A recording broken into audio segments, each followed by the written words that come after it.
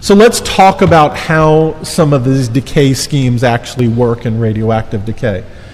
Some atoms have a nuclei that can exist in ex- excited state. And this is not an uncommon thing, but most nuclei that are, end up in an excited state as part of radioactive decay immediately go back to a ground state, and they don't exist in that metastable state for very long. When they decay to that ground state, they release uh, a gamma ray photon. Um, it comes from the nucleus there as that uh, atom goes from that excited state down to its ground state. Now, radionuclides that can exist in that excited state for a relatively long time, and we're talking about a relatively long time on the atomic scale, so greater than 10 to the minus 12 seconds, are referred to as being metastable. All right? And the most important metastable um, uh, radionuclide that you should know of that decays via isomeric transition is technetium 99M. I mean, as a matter of fact, technetium 99M. The M is for metastable. And clearly, technetium 99M, right, it's, it's a real outlier there because this exists in that excited state for quite a bit of time, right? We've talked about the fact that its half life is around six hours. Um, what's nice about isomeric transition? Well, we get decay to that stable state and we get this release of this gamma ray. So that gamma ray is given off. Here we see that happening. That's labeled 1 in this picture here. Um, sometimes we don't see that gamma ray produced. Sometimes that excess energy in the nucleus gets transferred to one of these orbital electrons, typically a K-shell electron here, and we get what are called these uh, internal conversion electrons, these electrons which are going to head off with kinetic energy that would be equal to what this gamma ray energy would have been minus the binding shell energy of that electron, these internal conversion electrons.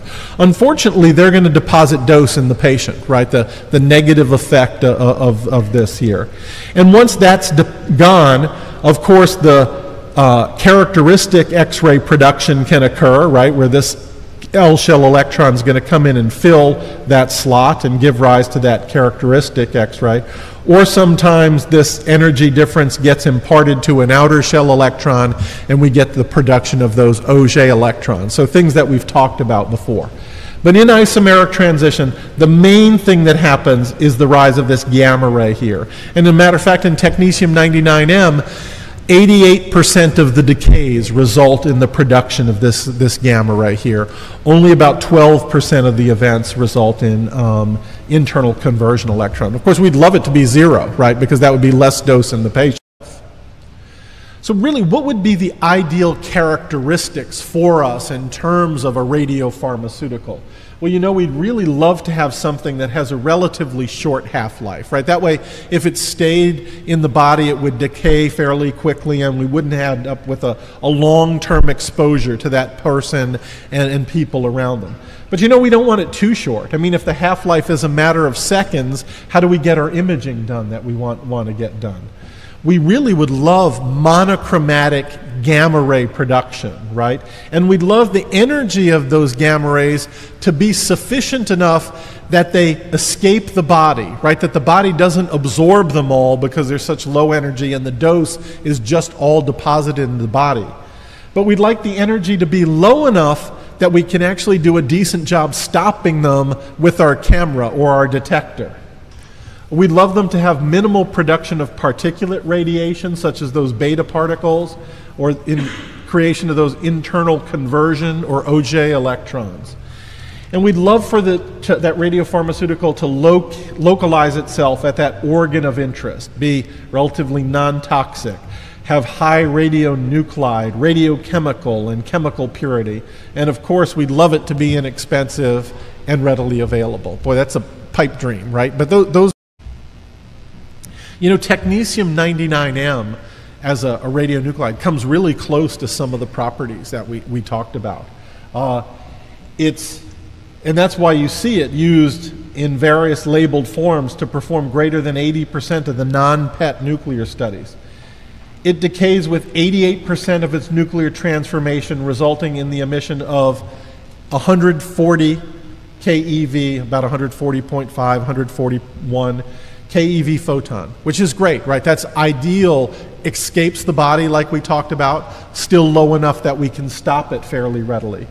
Unfortunately, the remaining 12% results in these uh, energetic electrons and deposits dose in the patient, but that's a relatively small amount.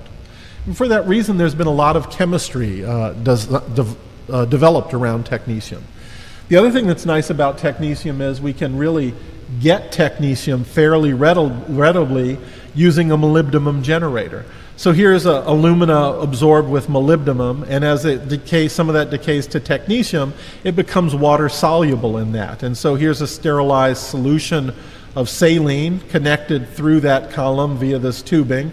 And if you popped an evacuated vial onto the little uh, needle, if you will, on the top of this, it would suck that fluid past that column, taking off the soluble technetium, and you'd end up with technetium in your vial, and hopefully it was working well, and you ended up with very minimal amount of breakthrough of molybdenum in your vial there.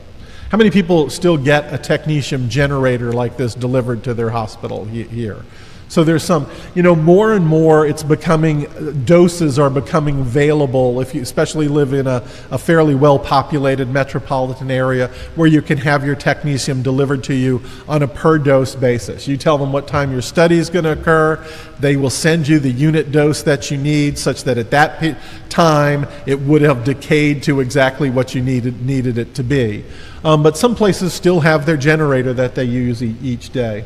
And if you have the generator, one of the things that you know that's really nice about it is if you start off with no technetium and just your molybdenum, and you watch after about a 24 hour period, you reach a peak in the amount of technetium that's available there. So you can take all the technetium from the generator and then let the next 24 hour period go on, where again, that amount of technetium was going to rise over time as that molybdenum decays until it's time to elute the generator once again. So it's really nice to set up. The, the ratio of half lives between molybdenum and technetium are such that you end up in this transient equilibrium that reaches its maximum right around 24 hours, which is really convenient for what we do, where each morning we'd want to elute the generator and start our imaging for the day, if you will.